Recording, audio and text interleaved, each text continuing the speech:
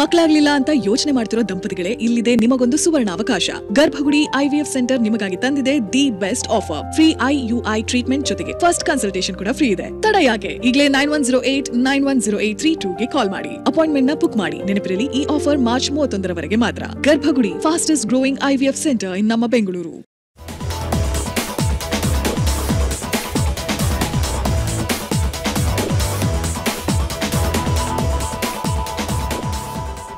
Hi friends ಇದು ಮಸ್ತ್ ಮಗ ಡಾಟ್ ಕಾಮ್ನ ಇಂಟರ್ನ್ಯಾಷನಲ್ ಬುಲೆಟಿನ್ ಸುತ್ತು ಜಗತ್ತು. ನಾನು ಅಮರ್ ಪ್ರಸಾದ್. ಭಾರತ ಹಾಗೂ ಚೀನಾ ನಡುವೆ ಯುದ್ಧ ಹಾಗೂ ಸಾಧ್ಯತೆ ಹೆಚ್ಚಾಗಿದೆ ಅಂತ ರೂಸಿ ರಿಪೋರ್ಟ್ ಬಳಿಕ ಈಗ ಅಮೆರಿಕ ಕೂಡ ಬೆಚ್ಚಿ ಬೀಳಿಸೋ ಇಂಟೆಲಿಜೆನ್ಸ್ ರಿಪೋರ್ಟ್ ಅನ್ನು ಕೊಟ್ಟಿದೆ. ಮೊನ್ನೆ ಅಷ್ಟೇ ಬ್ರಿಟನ್ ಮೂಲದ ರೂಸಿ ಸಂಸ್ಥೆ ಇದರ ಬಗ್ಗೆ ಡೀಟೇಲ್ಡ್ ರಿಪೋರ್ಟ್ ಮಾಡಿತ್ತು. ಅದಕ್ಕೆ ಸಂಬಂಧಪಟ್ಟಂತೆ ವಿಶೇಷ ವರದಿಯಲ್ಲಿ ಮಾಹಿತಿಯನ್ನು ಕೊಟ್ಟಿದ್ವಿ. ಅದರ ಬೆನ್ನಲ್ಲೇ ಈಗ ಅಮೆರಿಕದ ಇಂಟೆಲಿಜೆನ್ಸ್ ರಿಪೋರ್ಟ್ ಕೂಡ ಭಾರತ ಮತ್ತು ಚೀನಾ ನಡುವೆ ಯುದ್ಧ ಆಗೋ ಸಾಧ್ಯತೆ ಇದೆ ಅಂತ ರಿಪೋರ್ಟ್ ಕೊಟ್ಟಿದ್ದಾರೆ. ಈ ವೆಸ್ಟರ್ನ್ ಕಂಟ್ರೀಸ್ ಎಲ್ಲ ಸೇರ್ಕೊಂಡು ಯುದ್ಧ ಮಾಡಿಸೋ ಲೆಕ್ಕಾಚಾರದಲ್ಲಿದ್ದಂಗೆ ಕಾಣಿಸ್ತಾ ಇದೆ. ಪದೇ ಪದೇ ಹೇಳ್ತಾ ಇದ್ದಾರೆ.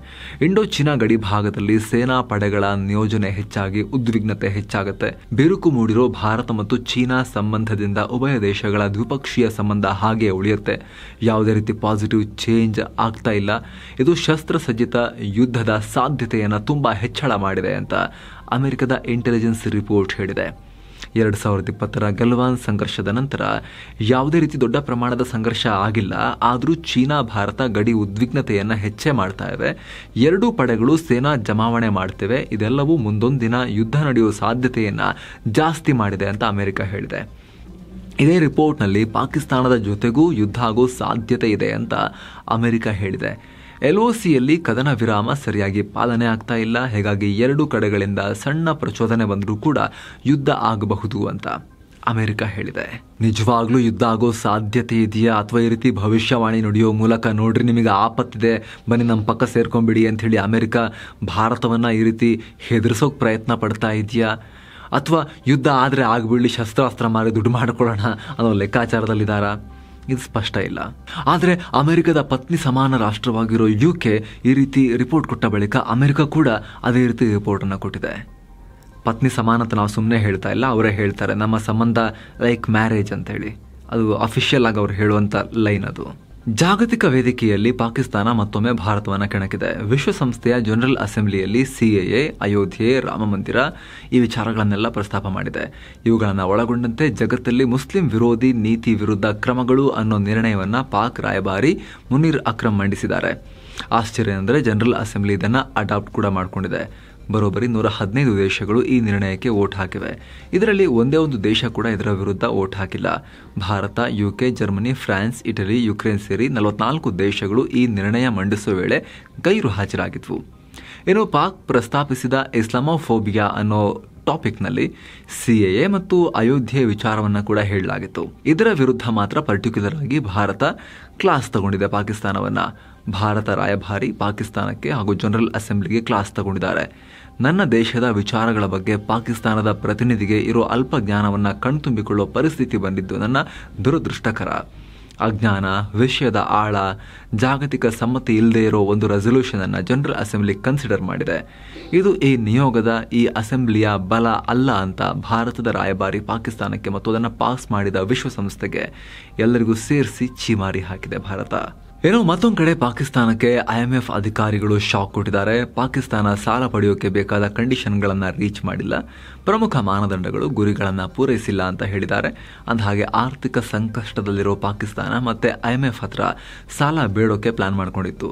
ಹೊಸದಾಗಿ ಒಂದು ಪಾಯಿಂಟ್ ಒಂದು ಬಿಲಿಯನ್ ಡಾಲರ್ ಕೊಡಿ, ಅಂದರೆ ಇನ್ನೊಂದು ಹತ್ತು ಸಾವಿರ ಕೋಟಿ ರೂಪಾಯಿ, ಒಂಬತ್ತುವರೆ, ಹತ್ತು ಸಾವಿರ ಕೋಟಿ ರೂಪಾಯಿ ಕೊಡಿ ಅಂತ ಕೇಳೋಕೆ ಹೊರಟಿತ್ತು. ಇದನ್ನು ಪರಿಶೀಲನೆ ಮಾಡೋಕೆ ಐಎಂಎಫ್ ಅಧಿಕಾರಿಗಳು ಪಾಕಿಸ್ತಾನಕ್ಕೆ ಬಂದಿದ್ದರು ಈಗ ಈ ಥರ ಹೇಳಿದ್ದಾರೆ. ಕೆಂಪು ಸಮುದ್ರದಲ್ಲಿ ರೆಡ್ ಸೀನಲ್ಲಿ ಹೌತಿಗಳ ದಾಳಿ ಕಂಟಿನ್ಯೂ ಆಗಿದೆ. ನಲವತ್ತೆಂಟು ಗಂಟೆಗಳ ಅಂತರದಲ್ಲಿ ಮತ್ತೊಂದು ವ್ಯಾಪಾರಿ ಹಡಗು ದಾಳಿಗೊಳಗಾಗಿರುವುದು ವರದಿಯಾಗಿದೆ. ಮಾರ್ಷಲ್ ದ್ವೀಪಗಳ ಮೂಲದ ಎಲ್ಪಿಜಿ ಟ್ಯಾಂಕರ್ ಹಡಗೊಂದು ಎಮೆನ್ನ ಬಂದರು ನಗರ ಅಲ್ ಹುದಾಯಿದ್ ಬಳಿ ಎರಡು ಬಾರಿ ದಾಳಿಗೊಳಗಾಗಿದೆ. ಹೀಗಂತ ಬ್ರಿಟಿಷ್ ಕಡಲ ಭದ್ರತಾ ಸಂಸ್ಥೆ ಆಂಬ್ರೆ ಮಾರ್ಚ್ ಹದಿನೈದನೇ ತಾರೀಕು ಮಾಹಿತಿಯನ್ನು ಕೊಟ್ಟಿದೆ. ಹೌತಿಗಳ ದಾಳಿಗೆ ಟಕ್ಕರ್ ಕೊಡೋಕೆ ಇದೀಗ ಅಮೆರಿಕ ಮತ್ತು ಬ್ರಿಟನ್ ಒಂದಾಗಿವೆ. ಎರಡೂ ದೇಶಗಳ ಯುದ್ಧ ವಿಮಾನಗಳು ಒಟ್ಟಾಗಿ ಯೆಮೆನ್ ಮೇಲೆ ದಾಳಿ ಮಾಡಿವೆ.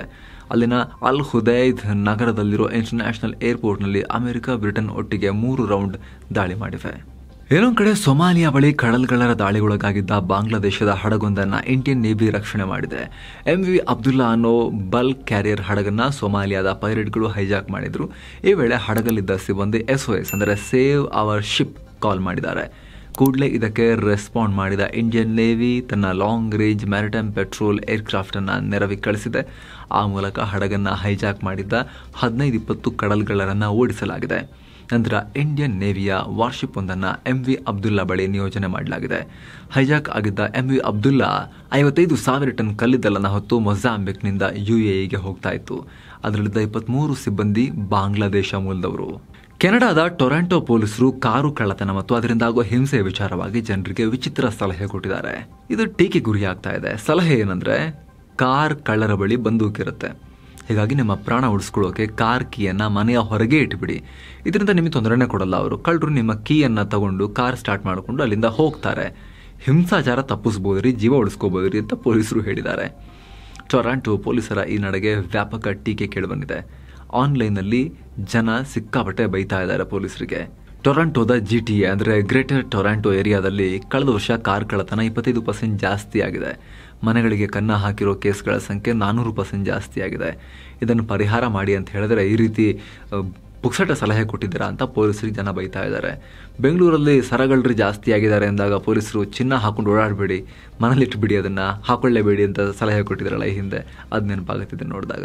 ಬ್ರಿಟನ್ ಮತ್ತು ಭಾರತ ನಡುವೆ ವ್ಯಾಪಾರ ವೃದ್ಧಿಗಾಗಿ ಫ್ರೀ ಟ್ರೇಡ್ ಅಗ್ರಿಮೆಂಟ್ ಅಥವಾ ಮುಕ್ತ ವ್ಯಾಪಾರ ಒಪ್ಪಂದಕ್ಕೆ ಎರಡು ದೇಶಗಳು ಮುಂದಾಗಿದ್ವು. ಆದರೆ ಭಾರತದಲ್ಲಿ ಲೋಕಸಭಾ ಚುನಾವಣೆ ಹತ್ತಿರದಲ್ಲಿರುವುದರಿಂದ ಈ ಬಗ್ಗೆ ಮಾತುಕತೆ ನಡೆಸುವುದನ್ನು ಸದ್ಯ ಎರಡು ದೇಶಗಳು ಹೋಲ್ಡ್ ಮಾಡಿವೆ. ರಷ್ಯಾದಲ್ಲಿ ಮಾರ್ಚ್ ಹದಿನೈದನೇ ತಾರೀಕು ನಡೆದ ಮೊದಲ ದಿನದ ಸಾರ್ವತ್ರಿಕ ಚುನಾವಣೆ ವೋಟಿಂಗ್ ಕುರಿತು ಅಲ್ಲಿನ ಭ್ರಷ್ಟಾಚಾರ ವಿರೋಧಿ ಹೋರಾಟಗಾರರೊಬ್ಬರು ಹೇಳಿಕೆಯನ್ನು ಕೊಟ್ಟಿದ್ದಾರೆ. ರಷ್ಯಾ ಚುನಾವಣೆಯನ್ನು ಒಂದು ರೀತಿ ಡ್ರಾಮಾ, ನಕಲಿ ಚುನಾವಣೆ ಅಂತ ಕರೆದಿದ್ದಾರೆ. ರಷ್ಯಾದಲ್ಲಿ ಇನ್ನು ಮುಂದೆ ಪುಟಿನ್ ರದ್ದೇ ರಾಜ್ಯಭಾರ ನಡೆಯುತ್ತೆ. ಪುಟಿನ್ ಸಾಯೋ ತನಕ ಅಥವಾ ಅವರನ್ನ ಬಲವಂತವಾಗಿ ಯಾರಾದರೂ ಹೊರಗೆ ಹಾಕೋ ತನಕ ರಷ್ಯಾದಲ್ಲಿ ಅವರದ್ದೇ ಅಧಿಕಾರ ಅಂತ ಹೇಳಿದ್ದಾರೆ. ಅಂದಹಾಗೆ ರಷ್ಯಾ ಮೊದಲ ದಿನದ ವೋಟಿಂಗ್ ನಂತರ ಪುಟಿನ್ನೇ ಮತ್ತೊಮ್ಮೆ ಅಧ್ಯಕ್ಷರಾಗೋ ಸಾಧ್ಯತೆ ಇದೆ ಅಂತ ವಿಶ್ಲೇಷಣೆ ಮಾಡಲಾಗ್ತಾ ಇದೆ. ಇನ್ನು ರಷ್ಯಾದಲ್ಲಿ ಒಂದು ಕಡೆ ಚುನಾವಣೆ ನಡೀತಾ ಇದ್ರೆ ಮತ್ತೊಂದು ಕಡೆ ರಷ್ಯಾ ಯುಕ್ರೇನ್ ಮೇಲೆ ದಾಳಿ ಮಾಡ್ತಾನೆ ಇದೆ. ಯುಕ್ರೇನ್ ಬಂದರು ನಗರ ಒಡಿಸಾ ಮೇಲೆ ಶುಕ್ರವಾರ ಕ್ಷಿಪಣಿಗಳ ಮಳೆ ಸುರಿದಿದೆ. ಘಟನೆಯಲ್ಲಿ ಇಪ್ಪತ್ತು ಮಂದಿ ಮೃತಪಟ್ಟಿದ್ದಾರೆ ಅಂತ ಗೊತ್ತಾಗಿದೆ. ರಷ್ಯಾ ಆಕ್ರಮಿತ ಯುಕ್ರೇನ್ ಪ್ರದೇಶಗಳಲ್ಲಿ ವಾಸಿಸೋ ಯುಕ್ರೇನ್ ಪ್ರಜೆಗಳ ಮೇಲೆ ರಷ್ಯಾ ಸೇನೆಯ ದಬ್ಬಾಳಿಕೆ ಹೆಚ್ಚಾಗಿದೆ. ಅಲ್ಲಿರೋ ಯುಕ್ರೇನ್ ಪ್ರಜೆಗಳಿಗೆ ರಷ್ಯಾ ತಮ್ಮ ದೇಶದ ಪಾಸ್ಪೋರ್ಟ್ ಹೊಂದೋಕೆ ಫೋರ್ಸ್ ಮಾಡ್ತಾ ಇದೆ. ಪರಿಣಾಮ ರಷ್ಯಾ ಆಕ್ರಮಿತ ಯುಕ್ರೇನ್ನ ಬಹುತೇಕ ಜನರಲ್ಲಿ ಈಗ ರಷ್ಯಾ ಪಾಸ್ಪೋರ್ಟ್ ಕೈ ಸೇರಿದೆ. ಈ ಮೂಲಕ ಸಾವಿರಾರು ಯುಕ್ರೇನ್ ಪ್ರಜೆಗಳಿಗೆ ರಷ್ಯಾ ಪೌರತ್ವ ಪಡೆಯೋಕೆ ಫೋರ್ಸ್ ಮಾಡಲಾಗ್ತಾ ಇದೆ. ರಷ್ಯಾ ಪಾಸ್ಪೋರ್ಟ್ ಪಡೆಯದೆ ಯುಕ್ರೇನ್ನವರಿಗೆ ಬೇರೆ ದಾರಿ ಕೂಡ ಇಲ್ಲ. ಯಾಕಂದ್ರೆ ರಷ್ಯಾ ಪಾಸ್ಪೋರ್ಟ್ ನಿರಾಕರಿಸಿದ್ರೆ ಅಂಥವರಿಂದ ಮಕ್ಕಳನ್ನು ತಮ್ಮೊಂದಿಗೆ ಇಟ್ಕೊಳ್ಳೋ ಹಕ್ಕನ್ನ ಕೂಡ ಕಿತ್ಕೊಳ್ತೀವಿ ಅಂತ ಬೆದರಿಕೆ ಹಾಕಲಾಗ್ತಾ ಇದೆ. ಜೈಲಿಗೆ ಹಾಕ್ತೀವಿ ಅಂತ ಹೆದರಿಸಲಾಗ್ತಾ ಇದೆ. ಗಾಜಾ ಪಟ್ಟಿಯ ದಕ್ಷಿಣ ಭಾಗದ ರಫಾ ನಗರವನ್ನ ಸಂಪೂರ್ಣ ಧ್ವಂಸ ಮಾಡೋಕೆ ಇಸ್ರೇಲ್ ಪ್ಲಾನ್ ಹಾಕೊಂಡಿದೆ ಅನ್ನೋ ವರದಿಗಳು ಬರ್ತಾ ಇವೆ. ಯುದ್ಧದಿಂದ ಜೀವ ಉಳಿಸ್ಕೊಳ್ಳೋಕೆ ಅಲ್ಲಿನ ಜನ ರಫಾ ಸೇಫೆಸ್ಟ್ ಜಾಗ ಅಂತ ಹೇಳಿ ಲಕ್ಷಾಂತರ ಜನರು ಬಂದಿದ್ರು. ಆದರೆ ಇಸ್ರೇಲ್ ಈ ನಗರವನ್ನೇ ಟಾರ್ಗೆಟ್ ಮಾಡ್ಕೊಳ್ತಾ ಇದೆ. ರಫಾ ಮೇಲೆ ದಾಳಿ ನಡೆಸೋಕೆ ಇಸ್ರೇಲ್ ಪ್ರೈಮ್ ಮಿನಿಸ್ಟರ್ ನೆತನ್ಯಾಹು ಕೂಡ ಅಪ್ರೂವಲ್ ಕೊಟ್ಟಿದ್ದಾರೆ ಅಂತ ಇಸ್ರೇಲ್ ಮಾಹಿತಿ ನೀಡಿದೆ. ಮಾರ್ಚ್ ಹದಿನೈದನೇ ತಾರೀಕು ಆಹಾರ ಲೋಡ್ ಆಗಿರೋ ಹಡಗೊಂದು ಗಾಜಾಗೆ ಎಂಟ್ರಿ ಕೊಟ್ಟಿರೋ ಬೆನ್ನಲ್ಲೇ ಈ ನಿರ್ಧಾರ ಮಾಡಲಾಗಿದೆ. ನಮ್ಮಲ್ಲೊಬ್ರು ರಾಜಕಾರಣಿ ಈ ಹಿಂದೆ ಒಂದು ಹೇಳಿಕೆ ಕೊಟ್ಟಿದ್ರು. ಅಧಿಕಾರ ವಿಷ ಇದ್ದ ಹಾಗೆ ಅಂತ ನಮಗೆ ನಮ್ಮಮ್ಮ ಹೇಳ್ತಾ ಇದ್ರು ಅಂತ. ಕೆನಡಾದಲ್ಲಿ ಅಲ್ಲಿನ ಪ್ರಧಾನಿ ಟ್ರುಡು ಈಗ ಏನು ಹೇಳಿದ್ದಾರೆ ಗೊತ್ತಾ? ಸಮಥಿಂಗ್ ಸಿಮಿಲರ್ ಹೇಳಿದ್ದಾರೆ. ದಿನಾ ಬೆಳಿಗ್ಗೆ ಎದ್ದು ನಾನು ಈ ಕ್ರೇಜಿ ಜಾಬನ್ನು ಅಂದರೆ ಪ್ರಧಾನಿ ಕೆಲಸವನ್ನು ಬಿಡೋ ಬಗ್ಗೆ ಯೋಚನೆ ಮಾಡ್ತಾ ಇದ್ದೆ ಅಂತ ಪ್ರಧಾನಿ ಜಸ್ಟಿನ್ ತ್ರುಡು ಹೇಳಿದ್ದಾರೆ. ಆದರೆ ಈಗ ಆ ರೀತಿ ಯೋಚನೆ ಬಿಟ್ಟು ಇರುವಷ್ಟು ಅವಧಿಯಲ್ಲಿ ಕೆಲಸ ಮಾಡೋಕ್ಕೆ ಡಿಸೈಡ್ ಮಾಡಿದ್ದೀನಿ ಅಂತ ಹೇಳಿದ್ದಾರೆ. ಜಾಬ್ ಬಿಡೋಣ ಅಂತ ಅನಿಸ್ತಾ ಇತ್ತಂತೆ ಕೆನಡಾ ಪ್ರಧಾನಿಗೆ. ಅಂದಹಾಗೆ ಥ್ರುಡು ಈ ಮಾತನ್ನು ಹೇಳೋಕೆ ಏನು ಕಾರಣ ಅಂದರೆ, ಹಲವು ತಿಂಗಳುಗಳಿಂದ ಅಲ್ಲಿನ ಚುನಾವಣಾ ಸಮೀಕ್ಷೆಗಳಲ್ಲಿ ತುಡುಗೆ ಹಿನ್ನಡೆಯಾಗ್ತಾ ಇದೆ. ಅಲ್ಲಿನ ಅಪೋಸಿಷನ್ ಕನ್ಸರ್ವೇಟಿವ್ ಪಾರ್ಟಿಯ ಪೆರ್ರೆ ಪಾಲೆವ್ರೆ ಲೀಡ್ನಲ್ಲಿದ್ದಾರೆ. ಇದರಿಂದ ಕಂಗಿಟ್ಟಿರೋ ಥ್ರುಡು ಪ್ರಧಾನಿ ಹುದ್ದೆಯನ್ನು ಕ್ರೇಜಿ ಜಾಬ್ ಅಂತ ಹೇಳಿದ್ದಾರೆ. ದಿನ ಬೆಳಗಿದ್ದಾಗ ಈ ಕೆಲಸ ಬಿಡೋಣ ಕೆಲಸ ಬಿಡೋಣ ಅಂತ ಅನಿಸ್ತಾ ಇತ್ತಂತೆ ಅವರಿಗೆ. ತುಂಬ ತ್ಯಾಗ ಮಾಡಬೇಕಾಗತ್ತೆ ಈ ಜಾಬಲ್ಲಿ ಅಂತ ಕೂಡ ಅನಿಸ್ತಾ ಇತ್ತಂತೆ. ಬಹಳ ಕಷ್ಟ ಅಂತೆ, ಬಹಳ ಬೋರಿಂಗ್ ಅಂತೆ ಕೆಲಸ ಇದು. ಹೀಗೆಲ್ಲ ಹೇಳಿದ್ದಾರೆ ತ್ರುಡು. ತ್ರುಡುಗ್ ನೋವಾಗಿದೆ ಪಾಪ ಚೂರು.